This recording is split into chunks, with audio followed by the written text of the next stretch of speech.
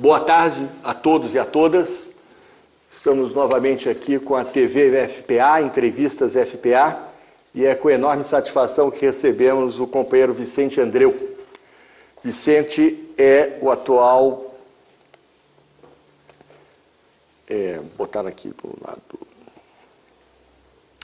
Vicente é formado em Estatística pela Universidade Estadual de Campinas, foi secretário de Recursos Hídricos e Ambiente Urbano do Ministério do Meio Ambiente, foi secretário municipal de Planejamento, Desenvolvimento Urbano e Meio Ambiente da Prefeitura de Campinas. E, atualmente, o Vicente é o presidente da ANA, Agência Nacional de Águas. Vicente, por favor, para começar, você poderia nos explicar a função da Agência Nacional de Águas com relação aos recursos hídricos? Boa tarde a todos, boa tarde, Joaquim. É, a Constituição de 1988, ela definiu que as águas no Brasil, ela tem é, domínios, e o domínio ou é estadual ou é federal. Quais são os domínios estaduais? Domínio estadual é toda a água subterrânea, ou seja, tudo que está, a água que está embaixo do solo. Quem é responsável por isso são os, os estados brasileiros, os 26 estados mais o Distrito Federal. E além disso, é responsabilidade dos estados a água que nasce e tem foz no território do próprio estado, água superficial. Exemplo, então, o rio Tietê. O rio Tietê é um rio que nasce em São Paulo, deságua no território de São Paulo, esse é um rio estadual. E definiu como de domínio da União as águas superficiais que fazem divisa ou atravessam estados ou países. Então, exemplo clássico de rio da, da, de domínio da União é o rio São Francisco, que nasce em Minas Gerais e vai desaguar entre Sergipe e Alagoas. A Agência Nacional de Águas tem a responsabilidade de fazer a gestão das águas superficiais que são de domínio da União. Dito assim, parece relativamente simples, porém a gente tem que entender que os rios federais, esses rios como São Francisco, é constituído por uma série de rios estaduais, que tem nascente e forma o próprio estado. Então essa integração entre a gestão estadual e a gestão federal, ela é uma questão muito importante, estabelecida na Constituição de 88, mas que na nossa opinião hoje está apresentando seus limites. E a ANA cabe, só para reforçar, cabe a gestão dessas águas superficiais, nunca subterrâneas, desses rios que fazem divisa ou atravessam estados ou países. O Rio Paraná, por exemplo, também é um rio federal, os grandes rios brasileiros, de uma maneira geral, são rios federais. Para ter também uma noção, que é um dado novo, que a imprensa nunca divulgou, a proporção mais ou menos é de 90% da água superficial é de domínio dos estados, 10% é de domínio da União. Esses 10% que é de domínio da União é responsabilidade da Agência Nacional de Águas, da outorga e fazer a gestão desses recursos hídricos. Muito obrigado, Vicente. Vicente, a, o debate, a tua vinda aqui e a preocupação da Fundação Perseu Abramo é discutir, acompanhar, entender o que está sendo chamado de crise hídrica. Você é aqui de Campinas, nós moramos aqui em São Paulo, estamos vivenciando já há alguns meses um problema seríssimo de falta de água e da qualidade da água. Uma parte significativa dos mananciais, dos rios urbanos no Brasil poluídos. Isso não vem de agora, de muito tempo. No caso de São Paulo, por exemplo, é, se o rio Tietê, o Pinheiros e o próprio Tamanduateí, que está todo canalizado, fossem rios que estivessem despoluídos, a qualidade, a quantidade de água seria outra, porque essa água poderia ser tratada. Outra questão relativa também aqui a São Paulo sobre qualidade é a própria Billings. Todos estão acompanhando a dificuldade que é a retirada de água da Billings em função de que ela tem trechos altamente poluídos, outros nem tão poluídos, e uma referência que também as pessoas normalmente não têm é de que a Billings é do tamanho ligeiramente, inclusive, maior do que o próprio sistema Cantareira. Então tem aqui uma quantidade de água muito grande com uma utilização pequena, porque essa água é poluída. A outra parte é a parte da chamada escassez hídrica, da seca, da estiagem. Nesse aspecto, eh, Joaquim, eu eu tenho uma formulação de que quase tudo que está sendo dito é verdade. É, eu não estaria me contrapondo, eu vou explicar porquê, a, a, a essas questões. Eu acho que quase tudo que está sendo dito é verdade, porém, depois, com essa somatória de fatores, as pessoas avaliam da maneira como quiser. Por exemplo, é a maior estiagem já registrada no Sudeste? Sim, é. Houve ausência de obras no passado que, que é, possibilitassem é, superar essa situação? Sim, nada foi feito no passado que pudesse prever ou minimizar os impactos dessa situação. É, o governo do Estado está atuando é, adequadamente durante a crise? No, na crise em si, sim. Porém, do ponto de vista da sua transparência e de medidas anteriores, não. A população está dando sua contribuição? Sim e não. Uma parcela significativa da população está contribuindo, outra parcela da população está aumentando o seu consumo em plena crise hídrica.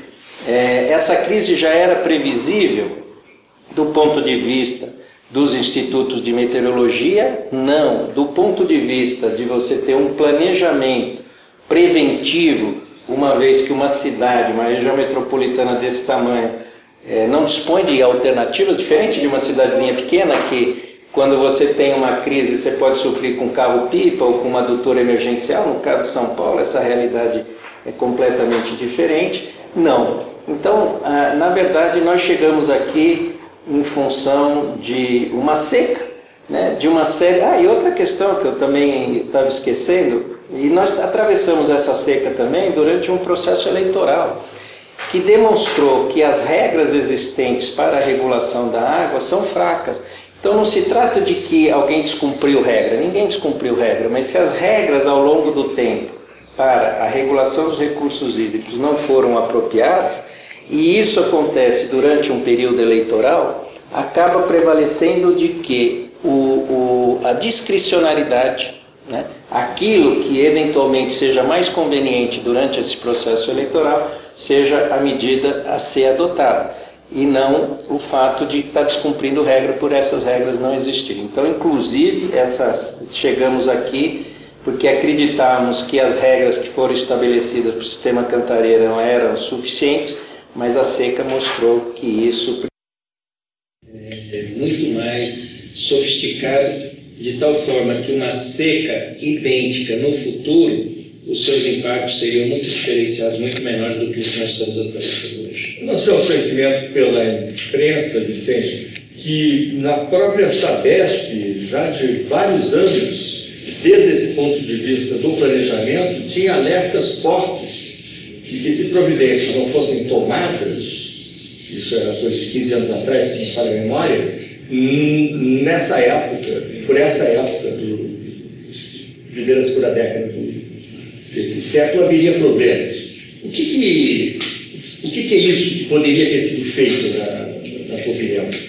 São Paulo, ele, é, se a gente olhar para os sistemas de abastecimento, não só da região metropolitana, mas de uma maneira geral do, do Estado, mas vamos falar principalmente da região metropolitana, São Paulo tem reservatórios relativamente pequenos. Se a gente for comparar, por exemplo, Cantareira que atende, atendia pelo menos alguma coisa em torno de 15 milhões de pessoas e tem um bi de metros cúbicos, só para as pessoas acompanharem dimensão de maneira é, é, arredondada, o Castanhão em Fortaleza é seis vezes o, o Cantareira para atender 4 milhões. Se a gente for olhar o Armando Ribeiro Gonçalves no Rio Grande do Norte, é três vezes o Cantareira para atender quase 2 milhões de pessoas. Então, os sistemas aqui em São Paulo sempre foram relativamente pequeno. O que, que contava? Contava que você tem uma, uma regularidade nas chuvas que fazia com que esses sistemas conseguissem fazer o, o, o abastecimento ser normalizado. Então, todo mundo alertava de que nós precisaríamos ter ou redundância ou reforço nessas estações. E, infelizmente, por várias razões, essas, essas medidas antecipatórias não foram feitas é, e aí, com a chegada de uma estiagem que quebra esse ciclo de regularidade de chuvas, a crise aparece com essa intensidade. É, a, próprio, a própria Sabesp iniciou em 2008 um estudo muito bom chamado Estudo da Macrometrópole Paulista, que é um estudo envolvendo que seria São José dos Campos a Sorocaba, Campinas ao litoral, a Baixada Santista, passando pela região metropolitana, onde já esse estudo iniciado em 2018 já apontava 2008. 2008, perdão, ele já apontava a necessidade de reforçar o abastecimento. Isso não foi feito no tempo apropriado, a crise chegou e aí escancara todas essas questões de maneira assim muito intensa para as pessoas. Muito bem, pessoal, nós estamos recebendo hoje aqui o diretor-presidente da Agência Nacional de Águas, o companheiro Vicente Andreu. Nós estamos aqui na entrevista SPA e gostaria de lembrar para quem quer perguntar ou fazer alguma colocação no nosso debate, o endereço é tvteve.fpabramo.org.br, que deve estar colocado aqui nessa plaquinha. Vicente, continuando essa nossa conversa, você, no caso de São Paulo, é evidente, né? dá, dá a impressão assim que é, essa abundância de água, a regularidade do ciclo da chuva, né? toda época de chuva chove muito, deixa não só o poder público, mas as pessoas com a ideia da abundância. Né? É... Será que isso influencia na, na situação de enfrentar a falta de água? Sem dúvida. Quero dizer com isso, quem está acostumado com pouca água, países, regiões, semiáridas do Brasil, convive com isso. Para quem convive com abundância, como é que, como é que fica? Não, é, a questão cultural ela é uma questão é, muito forte no processo de lidar com a crise. Seja de lidar com a crise, seja com o de cobrar providências antecipadas por uma questão desse tipo. Tanto é assim que, exceto o semiárido que convive com essa temática naturalmente, a agenda política de 2014 não colocou água no debate quando colocou, colocou do ponto de vista da crise e muito, muito mais no embate de posições e não com uma visão estruturante. Por quê? Porque não há, na minha opinião, uma cobrança da população em relação a esse tema como há em outros países. A cultura da abundância, né? a cultura de uma água, mesmo tratada por uma parte da população, é claro que essa água é cara, e para isso você precisa de medidas é, políticas públicas que façam com que as pessoas tenham, mesmo as que não têm renda, tenham água em qualidade, mas de uma maneira geral a água é barata comparada com outros serviços, por exemplo, o telefone celular. Então isso faz com que as pessoas tenham um comportamento relativamente é, perdulário em relação à água. E quando se defrontam com o problema, elas não têm não tem a cultura de como tratar adequadamente. Uma das saídas que as pessoas estão entrando, é, encontrando é encher a, a casa dela de caixa d'água, que é uma resposta, vamos dizer assim, talvez até é uma resposta, as pessoas devem fazer isso na medida do possível, mas ela tem problemas com a questão de, de qualidade dessa água, com problemas de dengue, tem uma série de outras questões que poderiam ser tratadas num outro âmbito. Então, acho que a cultura da abundância leva a uma dificuldade né, de reagir diante do problema. Até recentemente, até o governador do estado de São Paulo assumir concretamente o tamanho da crise, a maioria das pessoas, talvez até pelo fato de que o governador dizia que não havia problema, e de que elas não tinham a cultura do problema em São Paulo, elas se comportavam como se não houvesse crise. Né? Não, não, não é possível que isso esteja acontecendo. Né? Então, a, a questão cultural da abundância, e a abundância no Brasil é relativa, que quando se dá os dados, se dão os dados médios, os dados são realmente espetaculares. O Brasil é um dos países, se não o país, que mais detém água superficial no planeta. Quando você vai ver essa distribuição dessa água, onde 70% ou mais fica na região amazônica, que tem menos de 10% da população, e quando você vai olhar as cidades brasileiras, você já vê que há muito tempo, por conta do crescimento, que essas cidades apresentam aquele conceito de estresse hídrico, ou seja, a disponibilidade de água não é a recomendável. A região de São Paulo e a região de Campinas, que é a, continuidade do sistema Cantareira através do PCJ, são regiões que, do ponto de vista do cálculo, elas já estão sob estresse hídrico há muito tempo, inclusive às vezes com, no período seco, com menos disponibilidade de água por pessoa do que as regiões do semiárido. Mas a cultura, de uma maneira geral, é de que essa água é abundante, reforçada por um discurso que não assumiu, na minha opinião, a crise na sua verdadeira intensidade. E dentro disso, dentro dessa característica, pensando bem aqui, presta atenção, você está dizendo que o problema da escassez é antigo e uma memória de que tem abundância. Daí chega o dia que você abre a torneira e não tem nada. Pois para o consumidor final e tal. Agora, como é que essa situação dá, porque eu vou chamar assim, dos grandes consumidores? Né? Porque no, o problema da, da, escassez de água, é claro, é atinente à vida das pessoas, né? na sua comunidade, nas suas casas, etc. E tal. Mas também tem água para a agricultura, também tem água para a indústria. Como é que, é, é, assim, para a indústria, para os grandes consumidores, como é que bate essa, essa tradição, essa memória e a, e a crise atual? Ela vai bater diferente, de maneira diferente, para os grandes consumidores, dependendo da sua região.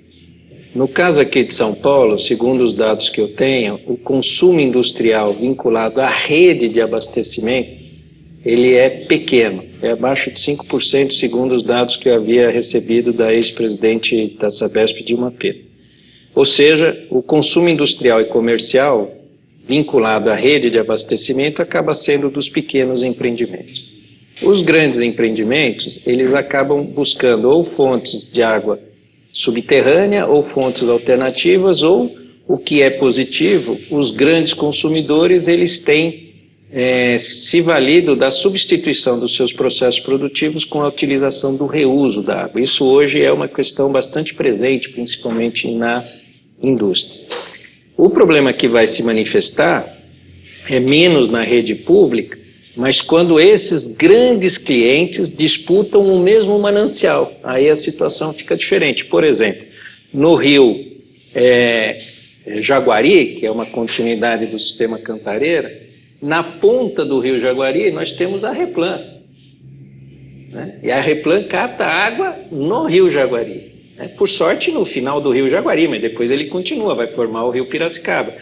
Então, quando esses usuários eles disputam o mesmo manancial, aí há que ter regras mais eficientes que possibilitem é, uma alocação mais adequada.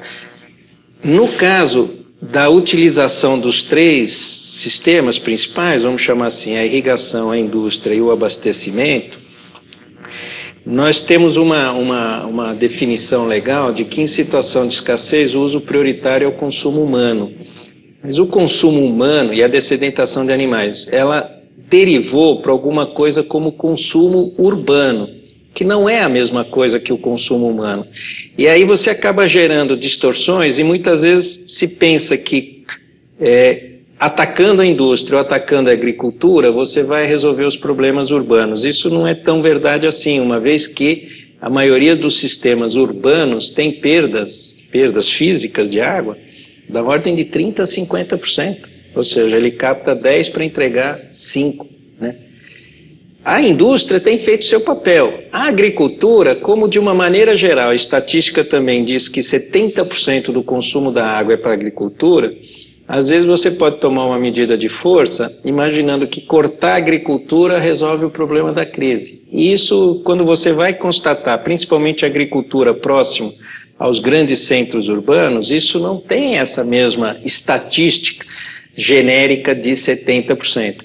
E muitas vezes também cortar o irrigante quando você tem 22% da população aumentando o consumo, ou quando você tem mais de 30% de perda física na rede, qual é a justiça que você está fazendo nisso?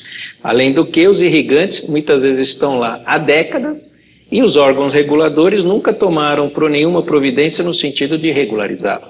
Né? Então, eu penso que a crise também ela é um grande aprendizado de não tratar ninguém como vilão, não tratar a indústria como vilão, não tratar a agricultura como vilão, não tratar, obviamente, o abastecimento público como vilão, mas que num processo de crise nós temos que encontrar soluções que sejam soluções eficientes, soluções que visem realmente combater o problema e não, às vezes, um discurso do tipo, eu ouvi isso aqui na região metropolitana de São Paulo, às vezes de que combater ou tirar o irrigante, pequeno irrigante, a maioria de hortaliças e tudo mais, vai resolver o problema da região metropolitana da São Paulo, como pelo que a gente já conversou, esse problema é muito mais grave e muito mais é, antigo do que uma solução momentânea nessa direção. Tem muito que pode ser feito? Tem. Tem muito para ser feito nas casas, as pessoas e as obras, as construções não são eficientes de uma maneira geral no uso da água no, no, no aspecto doméstico, isso pode ter, ser muito melhorado. A indústria, principalmente a média pequena que pega na rede pública, tem também mecanismos que pode melhorar significativamente a eficiência no uso da água. E a, e a, e a agricultura também, abandonando métodos antigos, como suco ou pivô central, para caminhar para é, você ter métodos mais eficientes na utilização da água na agricultura, mas sem tratar é, esses usuários a princípio como vilões. Cada um tem sua história, as coisas foram construídas dessa maneira e não é no momento de crise que você vai resolver imaginar encontrando um vilão é, nesse processo todo. Eu gostei dessa história do vilão. Mas não tem um problema, Vicente, quando a água é mercadoria? Quando a empresa de distribuição, por, por exemplo, a Sabesp, ela vende a água, vende. Ela faz acordos privilegiados com os grandes consumidores, de redução do preço da água. Então, fica contraditório no sentido da empresa vender e, por exemplo, é, não estimular, até bem pouco tempo, o reuso na indústria? Veja, o, essa é uma questão delicada. De uma maneira geral, a indústria tem um, um, um, valor, isso é em quase todas as empresas de saneamento. Eu não conheço a estrutura tarifária a fundo da Sabesp, mas conheço, conhecia da Sanasa, eu posso dizer isso. Então, na, de, na água, a água mais barata é a água da residência. A água mais cara é a água da indústria e do comércio. Então há sempre uma tendência a que o comércio e a indústria saiam da rede pública e mantenham as suas fontes alternativas. Num período normal, isso não é bom. Por quê? Porque você deixa de ter essa receita dessa, da, da indústria do comércio para cobrir e para deixar, inclusive, a água para residência mais barata. Então, você tem ali um subsídio cruzado da indústria para a residência. Então, quando, quando surgiram esses contratos chamados contratos de fidelidade com grandes clientes, na indústria principalmente, eles tinham a, a, o objetivo de manter o, o, uso industrial, para que ele não fosse para uma fonte alternativa, carro-pipa, por exemplo, e ficasse conectado à rede pública, pagando mais do que a água para a residência. No geral, eu não conheço aqui o da Sabesp, mas mesmo os contratos de fidelização, o que se paga na indústria é mais do que o que se paga na água residencial, principalmente quando o consumo é baixo. Evidente que numa situação de crise, quando a água está faltando, essas questões ganham também um pouco do contorno ideológico. É natural. Parece que está se tratando a água como mercadoria e deixando de atender um pequeno usuário para atender uma grande indústria. Eu não acredito nisso, eu não acho que isso é um elemento central da crise. É, a água, ela não pode ser vista como mercadoria, mas ela tem que ser vista como um recurso finito. E você tem que ter política pública para quem não tem renda, mas para quem tem renda, nós temos que ter tarifas adequadas de água. Então, essa, essa questão da, da do título de mercantilização da água no processo de crise, eu particularmente não acho que ela seja nenhum aspecto relevante e não acho que a Sabesp tomou medidas inadequadas. O que eu penso, também na mesma linha da franqueza aqui, é evidente que falo isso pela minha experiência pessoal e não pela agência que não tem responsabilidade sobre essa questão, é que o lucro gerado pela Sabesp, esse sim, acabou indo porque o Estado de São Paulo privatizou as suas grandes geradoras de renda, principalmente o setor elétrico, e aí a Sabesp passou a ser uma geradora de caixa para o governo de São Paulo. Então, o lucro da Sabesp não era reinvestido integralmente, ou na maioria, no saneamento. Ele acabava indo para cobrir outras políticas públicas. Então, é, é, é, não é em si a mercantilização, mas é que não se usou, eu acho, isso não tenho confirmação, mas a minha experiência me dá esse indicativo, não se usou a receita do saneamento para investimento integralmente em saneamento. Principalmente, hoje a gente percebe isso, principalmente em perdas e principalmente em obras de infraestrutura hídrica que aumentassem a chamada resiliência, ou seja, que a gente tivesse mais água disponível para enfrentar situações como essa. É muito interessante essa abordagem, interessante mesmo. E diga uma coisa, Vicente, e lembrando a você, de quem quiser fazer perguntas, já estão chegando aqui algumas, por favor, o e-mail é tvteve.ftabrango.org.br.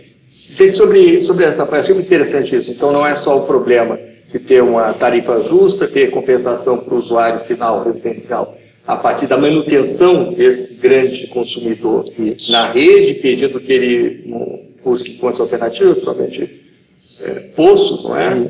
é? Mas da gestão de uma empresa que deve atender fundamentalmente ao público com esse, esse recurso tão importante quanto a, quanto a água. Você tinha falado antes é, da estimativa do desperdício. Qual é o. Qual é a sua experiência de, de evitar, de conter, fundamentalmente pelo tempo, pelo desgaste do sistema subterrâneo, que causa essa esse número tão estranho. Você colhe como é que é? 10 e joga fora 5. É. Aí é per... Nós temos duas coisas. Um é o desperdício, que no fundo, no fundo, a gente acaba trabalhando com conceitos no popular, onde o desperdício é tudo. É a perda, é o consumo inadequado e tudo mais. Mas uma pessoa que, por exemplo, enche a piscina dele num período de crise, se ele, se ele pagar. Tá, não, mas tem, está acontecendo, né? 22% aumentou o consumo.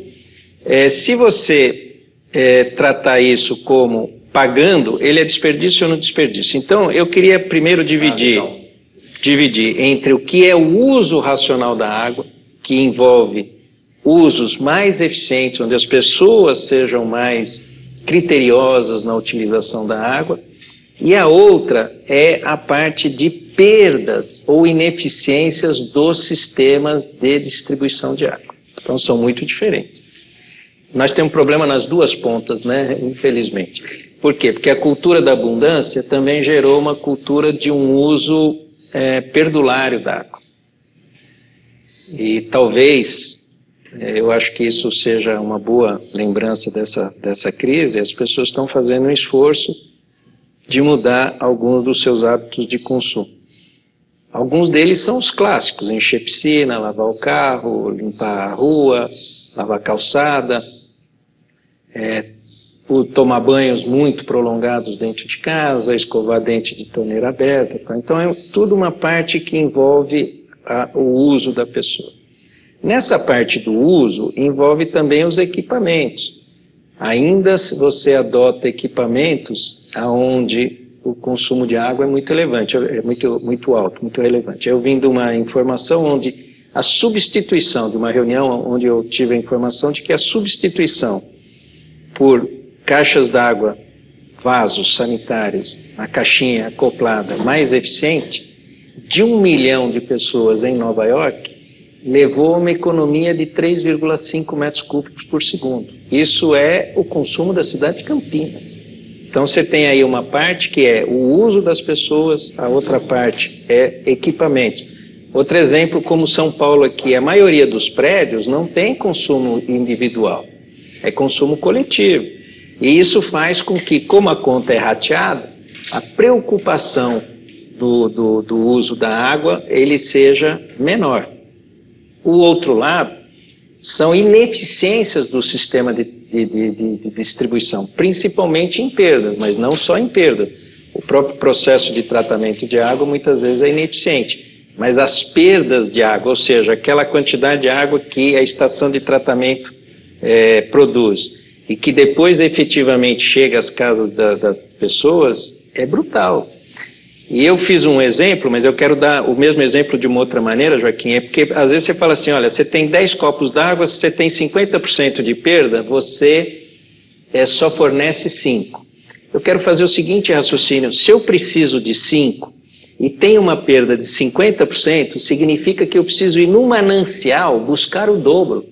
Então, vejam, você precisa de ter o dobro da disponibilidade de água para que você possa atender aquele consumo. Então, é, na minha opinião, talvez a discussão em torno das perdas de água nos sistemas urbanos, como São Paulo e outras cidades, é questão crítica.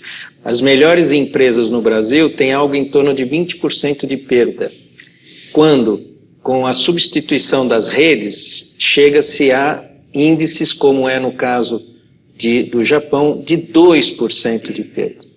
Então aí tem um, um, um nível imenso de, de, de, de, avanço. Além do que, é, várias cidades importantes, como o próprio Rio de Janeiro, não, não tem tarifação completa, ou seja, você fornece água e não cobra.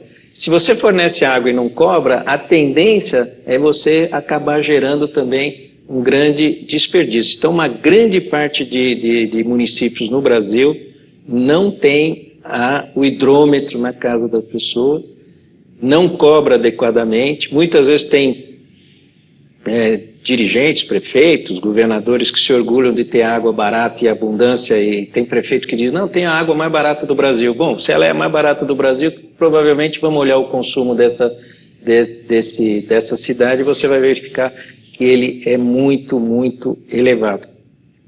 Os exemplos internacionais, eles apontam em três direções. Aumento da reserva de água, você tem que ter redundância, você tem que ser eficiente no fornecimento dessa água, ou seja, pouca perda, e você tem que mudar os hábitos de consumo da população. Esses três elementos são os três elementos que vão fazer com que haja uma redução global do consumo de água. Eu estava ouvindo um dia desses, desse, nesse sentido, também a modificação dos equipamentos domésticos. Você tem, tem novas tecnologias, não só para o uso em casa, por exemplo, chuveiro. Chuveiro com mais ar e menos água. A mesma sensação do banho de ducha. Isso é interessante isso. É. Um que já tem aqui, já vi várias vezes na caixa d'água do, do, sanitário. Né? E, e, mais recentemente, assim, equipamentos populares, como é, guardar água.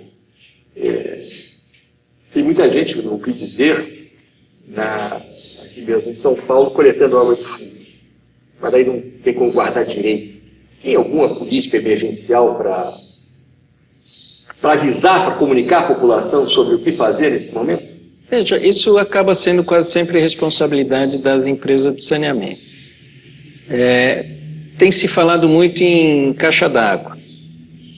A caixa, a caixa, a caixa d'água para guardar a água da rede, porque nem sempre você tem água na rede, ou para, a caixa d'água para pegar água de chuva. É, do ponto de vista da utilização pessoal, isso é um processo interessante, mas muito longo. O que deveria haver, na minha opinião, é, são políticas públicas que pudessem suprir essa questão de maneira mais adequada. Exemplo, os piscinões são construídos para segurar a água da chuva numa grande quantidade. É, depois, qual é o grande objetivo do, do piscinão? É impedir a enchente, a enxurrada e depois liberar essa água aos poucos, quando você poderia ter essa água destinada em grande quantidade para uma utilização diferenciada. A construção de mais reservatórios. O Brasil, se você tirar os reservatórios do setor elétrico que produzem hidroeletricidade, se você tirar esses reservatórios da conta, porque esses reservatórios são muito grandes, o Brasil reserva pouca água. Fundamentalmente energia elétrica. Fundamentalmente energia elétrica. Então, reservatórios para abastecimento é, exclusivos, eles são normalmente raros ou pequenos. No semiárido, não. Lá eles estão voltados mais para isso. Mas no Sudeste, normalmente ele está associado algum tipo de geração hidrelétrica. Não o Cantareira, que não tem geração hidrelétrica, mas a Bacia do Paraíba do Sul, que também tem uma crise entre São Paulo e Rio de Janeiro. todos os reservatórios que estão lá são reservatórios para contenção de cheias, mas principalmente também para geração de energia elétrica. Então, eu penso que é uma combinação de fatores. De um lado, a população fazendo a sua parte, educação nas escolas, mudança de hábito, é, novas leis que obriguem a que essas soluções elas façam parte do cotidiano e não sejam meio que alternativas, a pessoa adota alternativamente, né, se ela tem mais ou menos consciência. Então, de um lado, essa parte, mas do outro lado também o aumento em infraestrutura hídrica, reservatórios, é, você ter adutoras, você ter a utilização mais intensiva do reuso de água, que é uma política nova, essa sim é uma novidade dessa crise, com maior intensidade, de, de tal forma que você combine o padrão de consumo com uma maior oferta de água. Porque o que vai acontecer, Joaquim? Há uma, há uma visão, às vezes, alternativa de que o consumo de água pode cair. Ela pode cair pontualmente, mas se a gente olhar no longo prazo, o consumo de água, assim como de energia, será sempre crescente. O que você vai fazer é mudar a inclinação da curva. Então, ao invés de crescer dessa maneira, ela vai crescer de uma maneira, é, no longo prazo, uma, é menor. Mas ela sempre será crescente.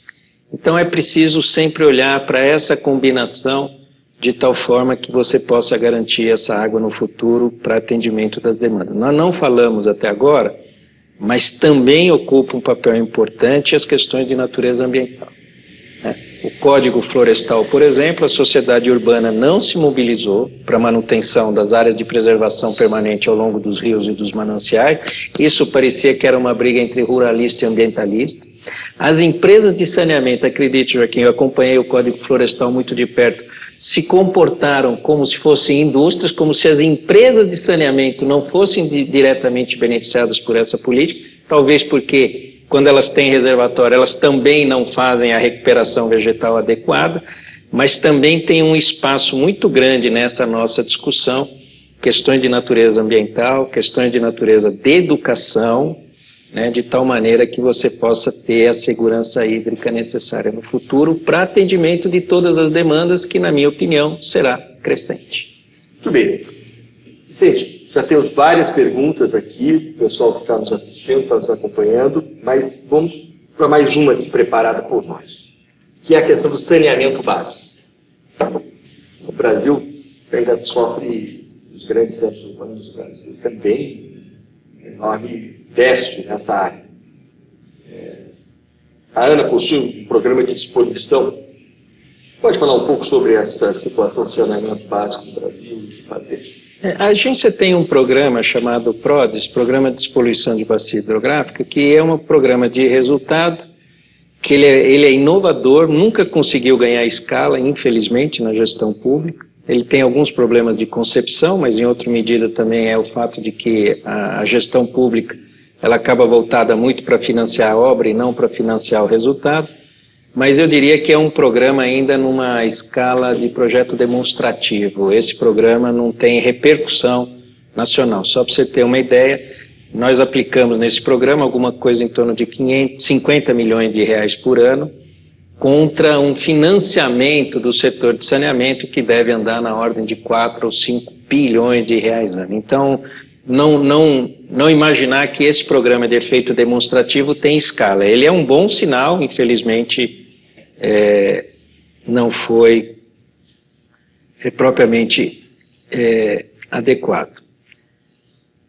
Do ponto de vista do saneamento, né, os indicadores de saneamento no Brasil, eles sempre foram muito voltados ao fornecimento de água. Então, a cobertura por redes de água no Brasil, ele quase atinge a universalização. É, junto com, acredito, segundo o IPEA, junto com o sistema de coleta de lixo, são os serviços mais universalizados. Às vezes, agora talvez não, mas os dados mais antigos, talvez até à frente da energia elétrica. Qual era o problema? O problema, às vezes, é que esse fornecimento de água é intermitente, mas a rede existe ou a qualidade dessa água é intermitente. Do outro lado, os investimentos complementares na direção do saneamento, eles é, nunca aconteceram na intensidade que aconteceram nos últimos 10 anos. Mas gerou um tipo de problema indireto. Por quê? Porque a política anterior, até 2002, era uma política de privatizar os serviços de água nas regiões metropolitanas, ou seja, aqueles serviços mais viáveis. E reduziu a capacidade de investimento, de planejamento, perdão, das empresas de saneamento. Então, o que, que aconteceu? Quando o governo colocou dinheiro, nos últimos anos, aconteceu um fenômeno que o dinheiro colocado não era acessível pelas, pelos serviços municipais, porque os serviços municipais não tinham nem como fazer o projeto, nem depois como manter esses projetos em andamento. Há um esforço do governo federal nessa direção, mas eu ainda penso que é, nós precisaríamos de um arranjo mais adequado entre o poder público federal, entre a União, os estados e os municípios nessa direção. Os municípios pouco se associam para soluções conjuntas na área de saneamento. Os estados, muitas vezes os governadores se comportam como se o problema dele fosse exclusivamente a empresa estadual. Então, por exemplo, em São Paulo, são Paulo parece que o problema do governo do estado é a Sabesp, que o governo do estado não tem responsabilidade sobre os serviços municipais no sentido de apoiar. E uma resposta da União que acaba tendo que atender municípios que muitas vezes é, não têm condições adequadas para o seu andamento. Então, o, o saneamento, muito embora tenha havido avanços significativos, mas o saneamento ainda é, no Brasil, de uma maneira geral, um, um, um serviço prestado com grande dificuldade por parte das empresas. Não acredito que a questão da privatização hoje ela se coloque nos mesmos moldes que se colocou, se colocou esse tema, se colocou no início dos anos 2000. Né, não se trata mais de privatização ou não, mas se trata de uma gestão eficiente desses sistemas que, infelizmente, o Brasil tem 5.600 municípios, um pouquinho mais. É, a grande maioria desses 5.600 municípios, eles acabam tendo uma gestão de água ainda muito precária. E depois isso se complementa com falta de infraestrutura para se manter durante o período de crise e também com uma ausência de tratamento de esgoto que ainda continua sendo um grande problema. Para você ter uma ideia, eu fecho com isso, cerca de, na melhor das hipóteses, 60% do esgoto produzido é coletado e cerca de 30% do esgoto produzido, perdão, do esgoto coletado é tratado. Então, se você fizer 60 de 30, dá 18% do esgoto no Brasil, ele é, tem algum tipo de tratamento. Então, essa combinação acaba vamos dizer assim, dificultando ainda mais que a gente encontre saídas adequadas numa crise como essa. Obrigado, Vicente. Então, pessoal que está nos acompanhando até agora, eu vou pedir para mandar informação se já sabemos quantos estão nos acompanhando no momento, pela quantidade de perguntas, estamos bem. E quem ainda quiser mandar sua pergunta, por favor, tvteve.fpabramo.org.br. Bom, Vicente, muito bom mesmo. Eu faço rapidamente aqui uma pequena divisão, às vezes não dá muito certo, porque chegaram muitas. Você, eu te passo o papel se você quiser. É, gostaria. Já te passo. É, tem, eu vou fazer algumas perguntas a respeito da ANA, da Agência Nacional, que vieram para cá, e depois sobre temas mais variados, tá? A ANA tem poder de cancelar outorgas concedidas por municípios, estados, a empresas ou outros entes privados? No Alto Tietê, por exemplo, há inúmeros casos de outorgas em vários municípios da região há racionamentos não declarados, seja por parte da Sabesp ou de companhias municipais de abastecimento. Essa é a pergunta do José Marques, de Mogi das Cruzes. Então, Vou fazer o conjunto das tá bom. É função da ANA esclarecer a população sobre como economizar? Essa é da Luciana Dias, de São Paulo. Hoje, quando o serviço é interrompido, como telefonia, o usuário recebe desconto pelo período sem cobertura. Como a água está acontecendo o inverso, estamos recebendo menos se é que ela chega, em alguns casos. No entanto, pagando a mesma coisa ou mais devido ao, ao ar nos canos. A ANA fiscaliza isso? É o Paulo Roberto aqui de São Paulo.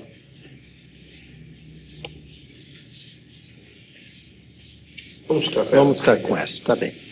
É, como eu mencionei de passagem no início, a água tem um duplo domínio, ou ele é estadual ou ele é federal. A, água, a Agência Nacional de Águas dá outorga para chamados, é, para os chamados é, rios federais, para as águas superficiais de domínio da União, que representam 10%. Então, na pergunta do José Marques, é, a grande maioria dessas outorgas ela é dada no âmbito dos estados. Então, são os estados que concedem essas outorgas.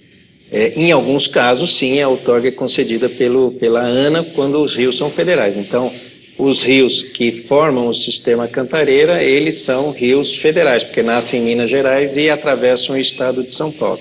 Então, nesse caso, essas outorgas são dadas pela agência juntamente com os órgãos gestores estaduais, mas tanto é assim que nós, ANA, só falamos sobre o reservatório do Cantareira. São Paulo tem outros sete outros reservatórios que são chamados reservatórios estaduais. Então a gente não atua diretamente sobre essa questão.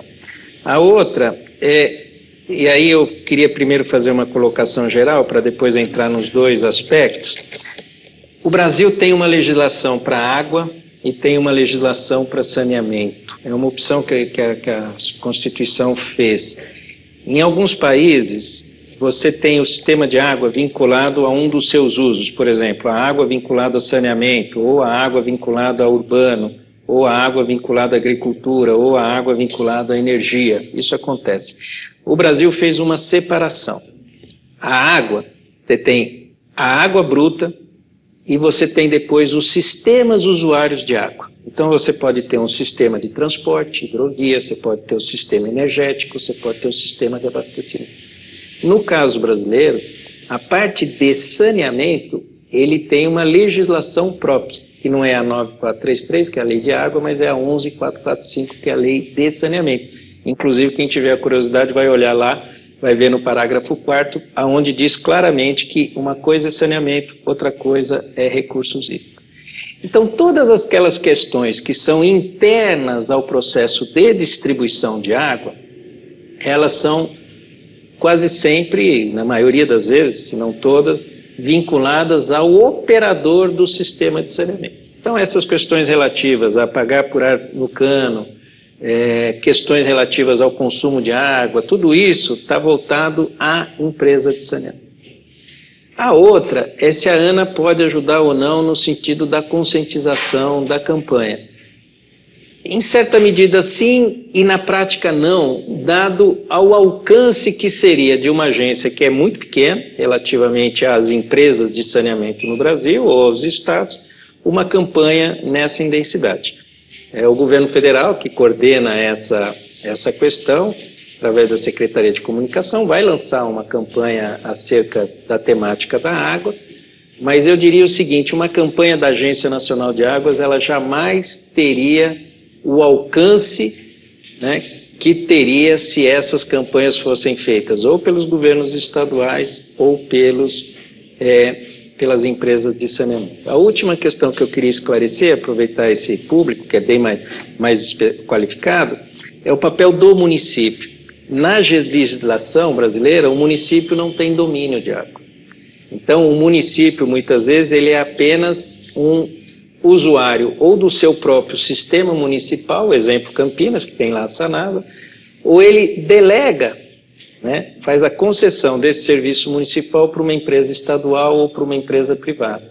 Então, o município acaba ficando numa posição também é, muito passiva isso, infelizmente, está acontecendo é, diante do problema. Enquanto o processo vai se desenvolvendo, o município não interfere.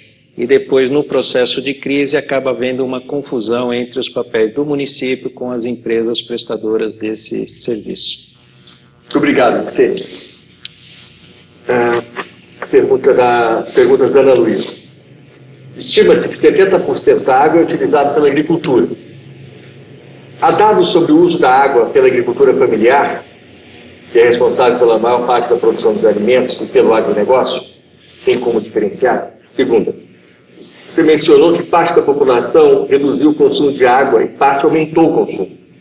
Há dados sobre qual setor da população, por exemplo, em termos de renda, aumentou ou reduziu o consumo? A fração que reduziu existe? Informação se foi por mudança de hábito do consumo voluntário ou por racionamento? Terceira, você mencionou que é necessário reforçar as regras regulatórias na gestão da água. O que pode ser feito? O que precisa mudar na gestão da água? Essa aqui está boa para uma foto. Bem, não, não, eu não tenho conhecimento de uma separação entre o uso da agricultura familiar nessa classificação e do, do consumo é, do, do agronegócio. O que você tem de uma maneira geral é de que 95% da irrigação no Brasil é privada e 5% vem de é, perímetros públicos de irrigação. Então, 5% da irrigação no Brasil é pública e 95% da irrigação é privada. Nessa parte privada, se ela é da agricultura familiar ou não, esse dado eu nunca, nunca vi, não, não acredito que ele seja disponível é, é, é, facilmente. A outra é os segmentos que aumentaram. Isso vai remeter diretamente ao a empresa de saneamento. A empresa de saneamento é quem cobra a tarifa, quem tem o CPF, perdão, o CEP, que tem o CEP do consumidor e que, portanto, através do CEP do consumidor, ele pode te dar esse indicativo. O que existe é o seguinte: um pouco menos que energia elétrica, onde essa relação que eu vou mencionar é mais direta, mas também na água, a relação entre consumo de água e renda é uma relação muito forte. Então, assim como na, na energia a relação entre quanto mais renda, mais consumo de energia, na água também existe essa relação. Ela não é tão direta, porque em muitos casos, como você tem para núcleos urbanos, você não tem é, medição, né, então você acaba tendo também, às vezes, um consumo muito alto em núcleos não urbanizados e tudo mais de água. Mas isso eu diria que é um, um, um, pequena parte. A grande parte, respondendo aqui a Ana Luísa, é que a relação é relação normalmente está vinculada com a, com a renda do usuário. E as regras regulatórias, ó, Ana Luísa, isso aqui valeria um, um, debate. É, o Brasil precisa melhorar muito, a ANA precisa melhorar muito, os, os órgãos estaduais até mais do que isso, mas eu vou dar um exemplo crítico. O sistema Cantareira, ele tinha, e é o mais avançado do Brasil, ele regulava o máximo do reservatório no período de chuva. Então você tem que deixar lá um volume de água chamado volume de espera para conter cheia. E depois ele tinha um nível lá embaixo, chamada dentro da curva de aversão a risco, que era 5% de risco de desabastecimento, que na verdade é uma situação já olhando para a série histórica. Então você pega a série histórica, faz as continhas, em 5% do período de 84 anos, aquelas regras não estariam valendo. E o que, que acabou acontecendo? Eu falei isso de passagem. Ao não ter regras entre o máximo e o mínimo, o consumo, a operação por parte, principalmente da Sabesp, ela acabava utilizando uma quantidade de água é, que não sinalizava adequadamente uma, a, a, crise que podia se avizinhar. Continuou operando como se a crise não tivesse vizinha. Mesmo porque não era prevista, mas também não tinha essa regra. E aí, depois, logo em seguida, ela ultrapassa o limite dos 5%. Então, a partir daí, você fica com menos é, do que os 5% no reservatório. Isso, num processo eleitoral, fez o quê? Que a ausência de regra que, que definisse qual é o volume a ser retirado do reservatório? Ainda mais que é o conflito entre a ANA e o Estado em relação ao domínio, que eu também já mencionei. Não se trata de omissão, se trata da incapacidade jurídica de poder tomar uma decisão separadamente para impor aqui uma cota em São Paulo. Por quê? Porque a água ou é estadual ou é água federal. E no caso do Cantareira, também para vocês, o Cantareira foi de vários anos, a minha simplificação do Cantareira é isso aqui. São cinco reservatórios em nível, onde o primeiro é federal, o se passa água para um outro que é estadual, que passa água para um outro que é federal, que passa água para um outro que é estadual, que passa água para um outro que é, que é estadual. Então, esse conflito de água aqui também, ele gerava, de domínio, ele gerou uma certa paralisia. O que, que nós estamos defendendo para a renovação da outorga do sistema Cantareira que vai acontecer em outubro deste ano? Era para ser o ano passado, foi prorrogado para outubro deste ano nós precisamos criar regras intermediárias muito mais consistentes. O reservatório chegou no nível X, a medida é esta. E não do jeito que acabou ficando, porque o reservatório foi chegando, mas isso tinha um impacto no processo eleitoral e as medidas não foram tomadas. Então nós precisamos sofisticar, melhorar a regulação de recursos hídricos. Precisamos melhorar também a regulação de recursos hídricos quanto à poluição. Porque o que, que acaba acontecendo? A empresa de saneamento pede água para abastecimento, mas óbvio que aquilo vai gerar esgoto. Só que aí ela alega que não tem condições de, de, de cobrar pelo esgoto, não tem condições de tratar o esgoto, e você faz o quê? Não faz a captação de água. Então, em grande medida, a regulação ainda é deficiente no sentido, na minha opinião, de organizar melhor o sistema de saneamento. Então, nós não regulamos o saneamento, mas nós podemos regular o acesso à água para saneamento e obrigar que as empresas prestem um serviço mais eficiente em termos de água. Então, isso é um aprendizado da crise. Há pouco tempo atrás, esse problema não se colocava também pela, pela cultura de abundância, mas hoje a questão regulatória, na minha opinião, precisa ter um salto de qualidade e nós estamos procurando fazer isso no âmbito da Agência Nacional de Água. Muito obrigado, Vicente. Estamos indo para o final da nossa entrevista FPA de hoje com o Vicente Andreu, que é o presidente da Agência Nacional de Água. São perguntas agora é, esparsas. É, preocupação da Maria do Carmo Lins. E as cisternas podem ser uma solução para o futuro? Dimas, de Recife, Pernambuco. Empresas gastam mais que população em geral? Elas vão abandonar o estado de São Paulo? do Roberto Marins de Santos. E quem seria o papel de esclarecer o momento atual? Água não é um direito humano? Como garantir esse direito? A Valéria Gomes de Mauá coloca o seguinte: aqui no ABC nós temos uma represa cheia, a Beris. Uma amostra clara da falta de planejamento do descaso da Sabesp da e do DAE com relação ao tratamento do esgoto, pois esse reservatório é todo comprometido. A ANA trabalha no sentido desta fiscalização? e a Cíntia de Queluz. A captação de água no Rio Paraíba do Sul por São Paulo não é uma emenda pior que o soneto? É. Vamos lá.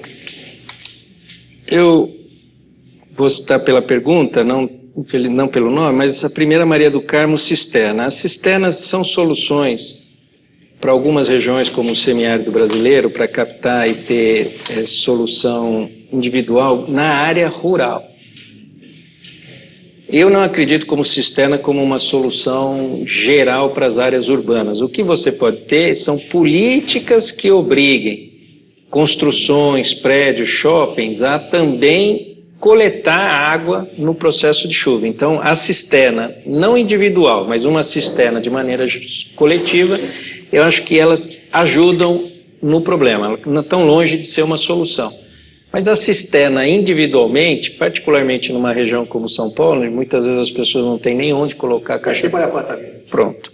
Então, eu, eu diria a você, Maria do Carmo, que depende do local. Numa área rural, sim. Numa área urbana, densamente como São Paulo, não. Agora, você ter mecanismos de, de, de utilização da água da chuva, que não seja só o reservatório, né? Que acaba indo para um reservatório, é, eu acho que aí sim poderia ter uma contribuição melhor, mas não como solução. As empresas gastam mais que a população? De uma maneira geral, não. Né? As empresas podem consumir no total mais, mas se você utilizar, verificar o consumo individual, no geral, as empresas gastam menos, principalmente a indústria, porque ela tem é, como a água passa a ser um elemento caro no processo produtivo, as indústrias são aquelas que mais têm atuado no sentido de reduzir o seu consumo. Então, não acho que as, as empresas gastam mais. Tanto é que o número que eu tenho de que as empresas gastam aqui na região de metropolitana de São Paulo abaixo de 5% da água produzida pela Sabesp. Então, ela não pode consumir, obviamente, mais do que a população. É, quem deveria esclarecer, eu acho que todos, todos, todos têm responsabilidade nisso. A definição de água como direito humano foi muito importante, inclusive o Brasil apoiou essa decisão no âmbito da ONU. E esse processo é um processo de educação que tem que ser levado em todos os níveis, em particular nas escolas.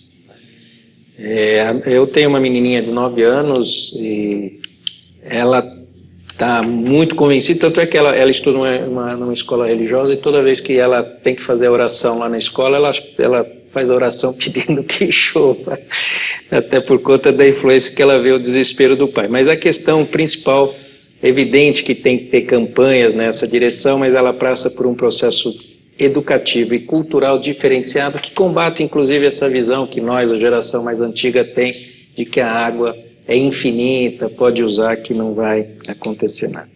A Billings, eu também já mencionei, a Billings, ela tem uma parte mais comprometida, é uma grande represa, é, e o fato de não, não se conseguir dar um tratamento adequado para a poluição na região metropolitana de São Paulo acaba fazendo com que um reservatório que é maior do que o sistema Cantareira não possa ser utilizado plenamente é, em relação a essas questões. A Sabesp tem anunciado que as técnicas de despoluição, de tratamento de água, são eficientes, mas mesmo assim, se nós tivéssemos esse manancial protegido, com certeza a situação da crise seria diferenciada. E a última, se buscar água no Paraíba do Sul, ele ajuda ou não. O Paraíba do Sul é um rio de, de porte grande, comparado, por exemplo, aqui ao trecho do Tietê ou ao Cantareira, as vazões lá são muito elevadas, ela tem uma realidade diferente porque ele tem vários grandes reservatórios para geração de, de energia elétrica na cabeceira, não é o caso. A Billings tem uma que é uma usina Henry Border de saída, mas elas não têm essa capacidade. E o problema no Paraíba do Sul, no qual nós estamos buscando um acordo entre São Paulo, Minas e Rio de Janeiro, é, é um acordo que opere aqueles reservatórios de maneira diferenciada. Os 5 metros cúbicos que o governo de São Paulo tem é, solicitado, eles não são, do ponto de vista da quantidade, impactantes. O que acaba sendo impactante é que a ausência de regra, utilização de qualquer maneira, 5 metros cúbicos podem influenciar. E ainda mais porque o Rio de Janeiro, na outra ponta, o único manancial ou o principal manancial do Rio de Janeiro é o Paraíba do Sul. Então sempre fica um cuidado do Rio de que uma utilização do Paraíba do Sul que nasce em São Paulo acabe é, fragilizando o Rio de Janeiro. Mas na minha opinião, é, se bem adequado, e nós estamos fazendo um esforço, inclusive no processo regulatório, para alterar esta condição no Paraíba do Sul, e vai ser inédito, eu acredito que em duas semanas a gente consiga anunciar isso. A água no Paraíba do Sul é, teria água em condições normais para ter, mesmo numa situação de crise como essa, desde que fosse é, feito de maneira diferente, atender adequadamente o Rio de Janeiro e atender a região do Vale, inclusive essa transposição que está tá proposta, porque não acredito que ela seja o elemento impactante no Rio Sul. Muito obrigado, Vicente. Obrigado mesmo. Queria agradecer a todos que nos acompanharam nessa tarde e queria já dizer que hoje, de novo, às 15 horas, a TV FP Abramo vai entrevistar, vai, vai, ter uma outra entrevista com a companheira presidenta do Sindicato dos Bancários de São Paulo. Vicente, por favor, suas palavras finais. Muito obrigado por essa oportunidade. A questão principal num processo como esse, Joaquim, só é sempre a transparência.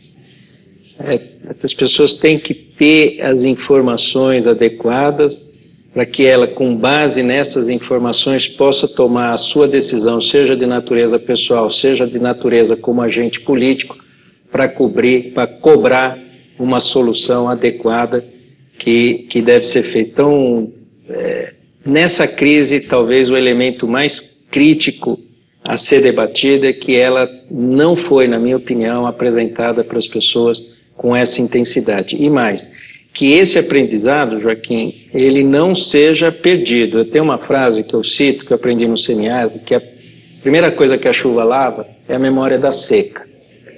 É, nós não podemos permitir que, caso as chuvas venham, essa memória seja lavada e que a gente não tome as medidas preventivas para que isso não mais se repita. Muito obrigado, obrigado mesmo.